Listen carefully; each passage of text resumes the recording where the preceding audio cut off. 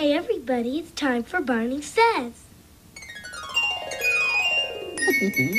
Hello again to all my friends. I'm glad you came to play.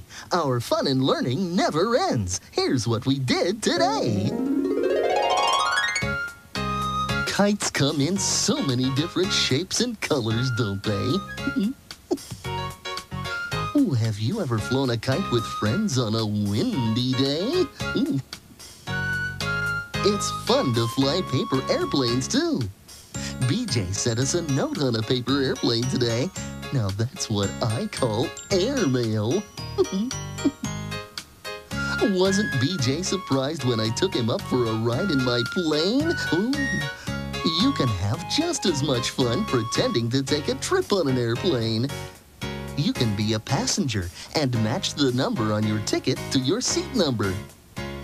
Or you can be the flight attendant, serving snacks to the passengers while they look out the window. Or you can be the pilot and fly your imaginary plane anywhere you like. the next time you see a butterfly, remember Stella's story about the three butterflies that loved each other. And remember, I love you.